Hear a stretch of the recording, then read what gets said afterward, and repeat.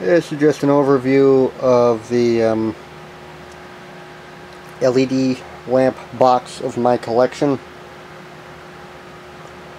Um, probably the most expensive uh, individual box just on the contents in my uh, collection because these things aren't cheap. But anyways, I've got a um, number of Philips lamps in here, both the um, this is about 60 odd lumens per watt, although the 8 watt versions are only, um, uh, this is a very old one, I'll get to in a bit. Um, but, although those um, 8 watt versions are um, only, I think, 57 something lumens per watt. Um, uh, these were the first of uh, Philips, and this is actually a, a fairly early one. This is um, January 2011, and actually doesn't even list the uh, luminous flux rating of the lamp, which is um, rated at 800 lumens on it. Um, and these were reasonably decent for when they came out. These were 64 lumens per watt. They were 12.5 watt lamps. Um, but in the, in the um, intervening couple of years, uh, there have been a number of um, strides made as far as improving the efficiency of just plain white LEDs, although they're not true white die LEDs. They're like virtually all white LEDs. They're um, blue um, semiconductor die with a um, yttrium aluminum garnet uh, phosphor, although, the, although I think it's the cerium dopant that makes it actually a, a yellow with green and red emission phosphor the the the, um, the YAG is just serving as a um, as a um, as a as a, a framework for the um, for the cerium. But anyways, um, so yeah, these uh, were fairly expensive when they came out. I think this one I probably got at 25 bucks a lamp because Home Depot was having some kind of a promotion, which is still going on. Uh, but they originally started started about 40 bucks over here and in Europe they're substantially more expensive. Like in um, England, I think they're something like 60 pounds each, which is, you know, 80, 90 bucks, somewhere in that range. And I heard from a collector in Sweden that they're the equivalent of over 100 bucks a piece over there. So they're very expensive. I think even now. Um, I've seen them as little as 18 bucks each, but that's a more recent, somewhat cheapened version that um, Connor Wolf did a teardown of that only has three LEDs per lobe in the 12.5 watt version. These much older versions have six per lobe, 18 LEDs per, per thing. The idea behind that is that it reduces the individual loading of each dot, uh, LED and greatly improves the system efficiency.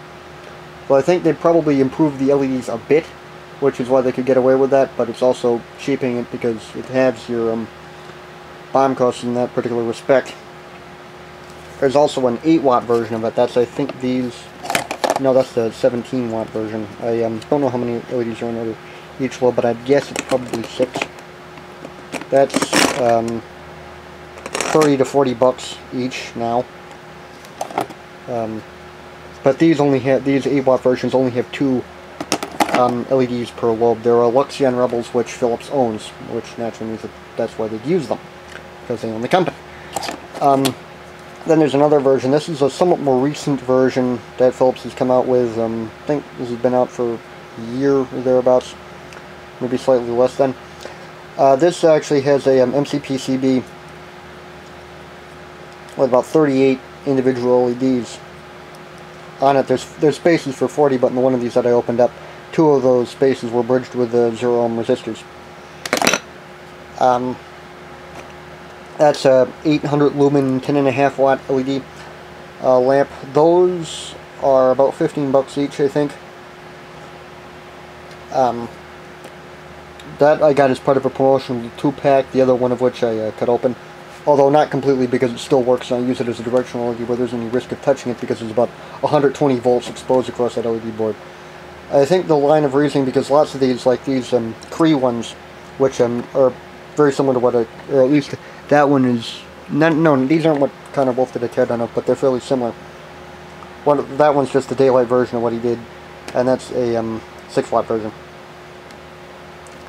And um, uh, I think the idea behind that is they don't really care about the electrocution hazard because if you break open a regular incandescent lamp, they're an electrocution hazard anyway from just the exposed uh, leading wires. But anyways, um, then there's this um, Lighting Science Group lamp that has a 15. I think they're an Osram product if I remember some forum post on Lighting Gallery or something.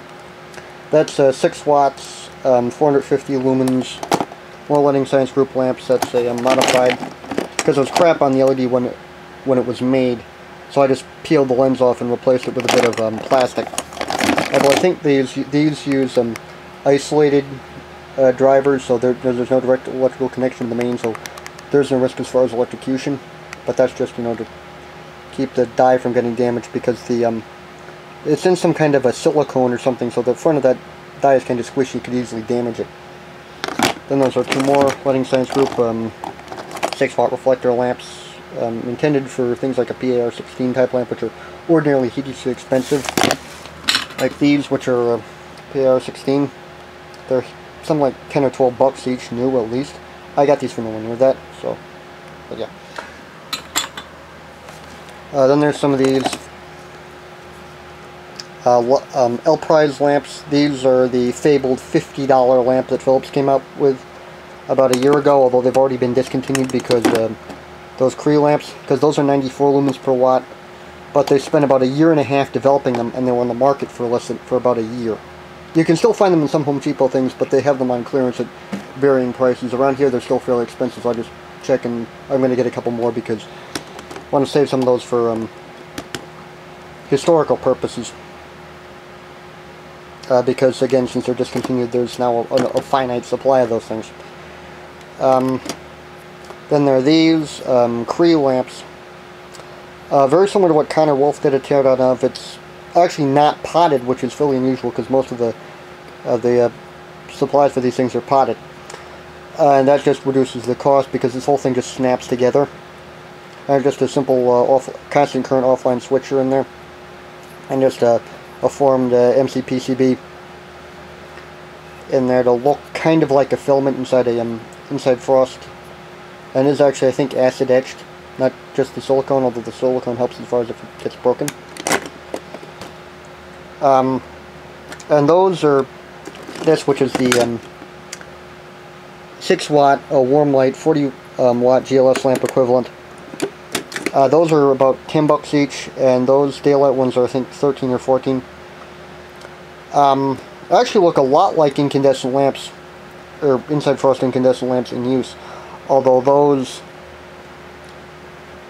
although I think they actually in order to improve the color rendering index they use two different color temperature LEDs because I can see a slight difference at least in the warmer one I haven't really looked at the um, cool white one yet then these are some Osram Sylvania branded lamps this one is um, 12 watts I've got three of uh, the 12 watt ones and one 8 watt one the 12 watt jobs I got for on clearance or those I got as a, some five bucks each from some promotional thing the store was running. And those just have little boards of either three or six LEDs, three and the eight watt, um, six and the 12 watt, under each of these lobes and under the end.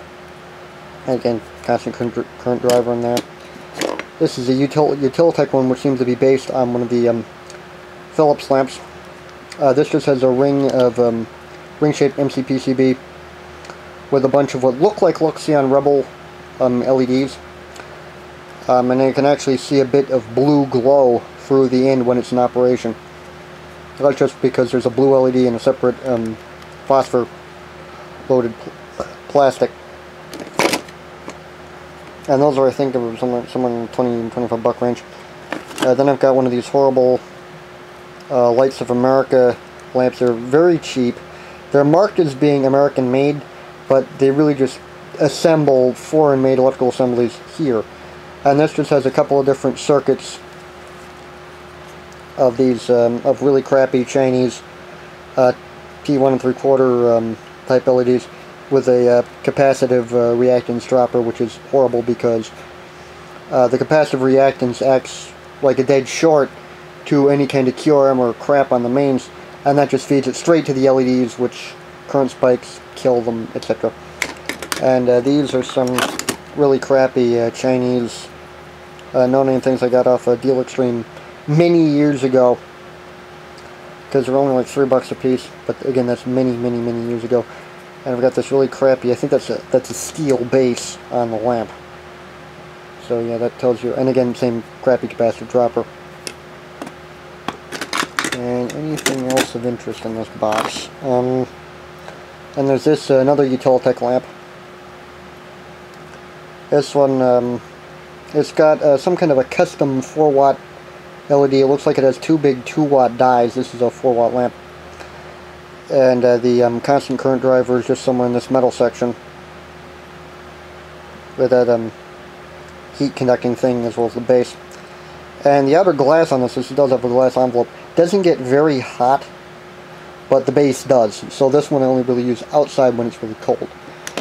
And I think that's pretty much the thing. I think there's, oh yeah, there's one of these, another horrible uh, Deal Extreme um, mains lamp crap.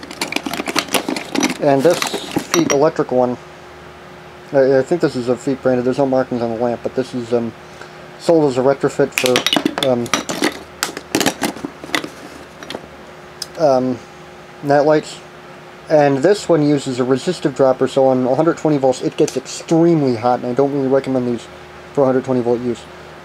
However, that means it also works on DC, so I use this as a, um, when I do use it for things like 12 volt or 24 volts. I uh, use it on that because it runs fairly cold. I mean, I mean it's it's only really useful as an indicator, but that's pretty much what I use it for. And uh, that's pretty much it for my LED box. Of course, I have a bunch of um, probably a bit more than a bunch of um, other lamps, but that will be the subject of another couple of um, videos because I need to do a organizational thing of this collection. But yeah, it's got about 3,000 lamps, so it'll probably take a while.